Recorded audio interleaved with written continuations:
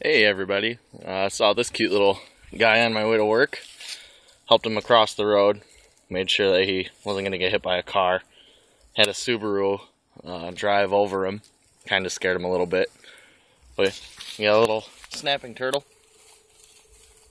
Little beauty.